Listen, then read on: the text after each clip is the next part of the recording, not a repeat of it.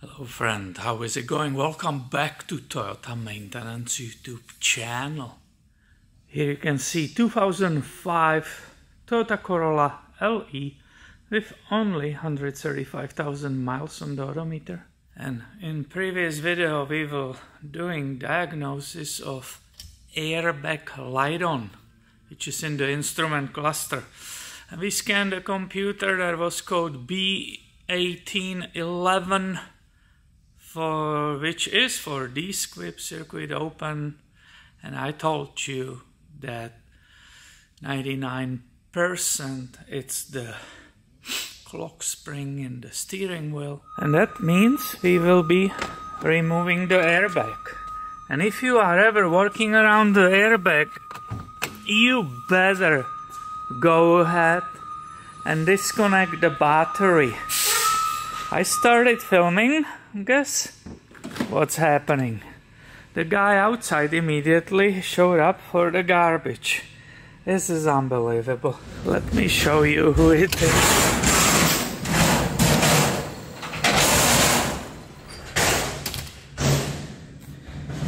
He knew that I'm going to film. He knew he waited outside. And then he came. this is crazy. So when you go Toyota training, you clearly know you need to remove the negative terminal from the battery. Did you see how it jumped back? And make sure it cannot move back. And now you're supposed to wait 10 minutes. So now we are back in the cabin and the question is, how do we get inside of the steering wheel. But first, your question should be Are your wheels and therefore the steering wheel in exactly straight position? Because that new part is set that your wheels are in this way. If you had it turn one turn either right or left, and you install the new part which is centered for this position. Well the next time you will drive behind the corner with a entire turn an entire steering wheel turn you will rip in the pieces then brand new part. So you have to pay attention to this. So back to the steering wheel. If you look from here I hope you can see there are two holes and there are Torx screws. So I will need T30 to get inside and loosen those. Hopefully you can see perfectly the angle where your tool goes in. Did you hear that? And these two bolts, they will stay there. They are in like a plastic holder.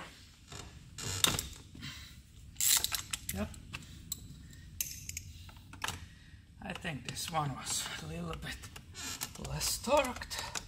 So now you are able to lift this entire airbag pad out and the next will be removing these two connectors.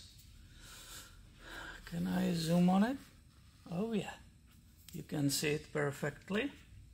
And you have to be very careful, you don't want to damage anything and it's about lifting these two tabs. You are prying them very carefully up.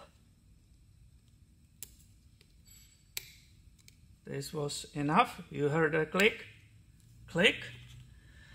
And now you can remove again towards to you, away from the airbag, these two connectors. Hopefully you can see it nicely in detail here. While you are working on it, how you store the airbag. So this is the wrong way if you left it this way, because if by any chance, by mistake, it will go off, it will blow, this will be projectile. It will basically fly towards to the ceiling or something. The correct way to store it is this way, because now if it blows, it will just make poof and that's it. It will not become a deadly projectile. So as you sit here with me, these are two screws, the T30s, and that's why I said they will stay there. This is what I just have disconnected. Now we have a cruise control right here. So that will need to be disconnected right here. Hopefully you can see me doing that. That's the tab because this will stay on the steering wheel. The rest of it is good to go.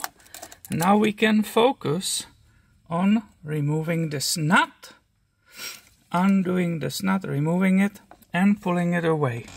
First, I need to mark the center here on the steering wheel so I will be able to put it back exactly the same way. Here is my paint to mark that area. And doing this it's the shaft and then the steering wheel. So I need to continue this mark.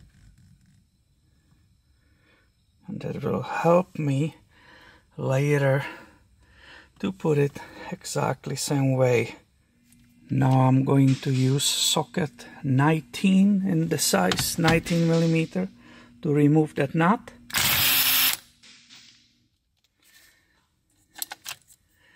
and now it's the work is to remove the steering from that shaft.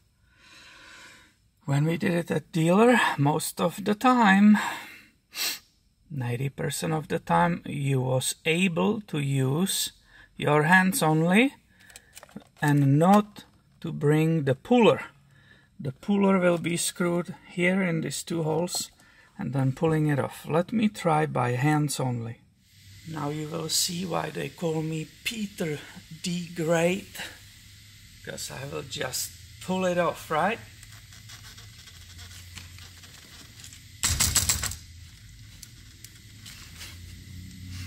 Or maybe not. Losers like me need a little puller. Here you can see the puller installed in the place. And here you can see basically the principle of it. I should be holding the steering wheel with the other hand and it needed just a little bit and it popped off. I should make sure I don't break those except this part is garbage so it doesn't matter. Now I can remove the puller.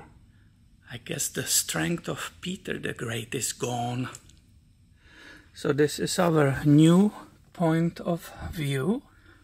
We have two Phillips screws and then should be in the number three right here, but somebody didn't put it back. So Phillips screwdriver and let's go for these two babies. Now I need to continue with separating the upper portion from the lower. So I will use some kind of prying tool and carefully take them apart. I think I will lower the steering column a little bit to remove this top one with more ease. I don't want to scratch anything since we uncovered this whole area. I'm wondering, uh-huh, what is this? And if it actually, it's a dirt from outside, which looks like it. And that's what got inside and actually destroyed this clock spring. So we have one more connector on the bottom. Hopefully you can see it. Again, the yellow the yellow connectors and the lines are for the airbags here you can see a detail it even shows you the top but this part is kaput we can look at it later or we can take it apart in different youtube video on this channel. Let's continue. Let's not get distracted.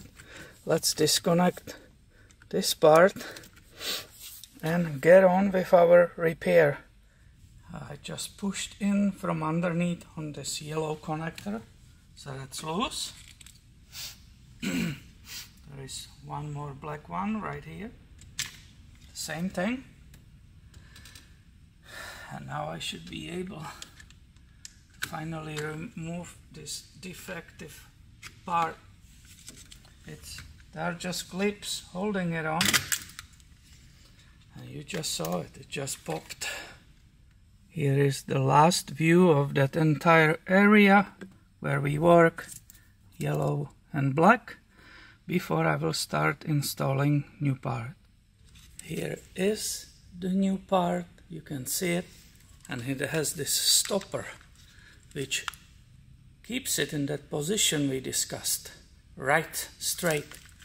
Here are the clips. One two and three which clip on that entire assembly. So there's not much of rocket science to put it back. I'm just being careful feeling it and I will push it on. Did you hear that I will go back with installing two wires. This is the black connector with a green wires. Click. I will go back with the yellow. We know that's the airbag because the color coloring of it. I still remember how it was there so it shouldn't be a problem to put it in. I will rather grab my light here is the picture what I just did. And it's a moment when we are ready to break this off because there was just holding it in that perfect position. We have that sticker top. Did I mention these things are super expensive? Toyota told me 400 bucks I believe plus tax so definitely you have to look around for your source uh, if you don't want to pay so much. Plus you pay somebody to replace it look at it. Right now hopefully you can see this way yeah. That's all you do. You break it off. So now it will be ready to turn around. Right? You see it? It's loose. But I want to keep it in this position. So I said if I turn it one more time and then put the steering wheel in the straight position I will break it internally so it needs to stay this way. This is perfectly installed. Now it's time for that trim to go back carefully without damaging anything which is possible. You just have to be gentle with it and pay attention all right. That is uh, uh, like a guiding rod here. Better follow that carefully. It will go inside of there. Uh-huh. So I can see it's matching on its holders. Everything's fine. Now I put the bottom that thing right here my friend. I had it nicely on the roof okay pay attention to all the wires. There's no reason to rush this.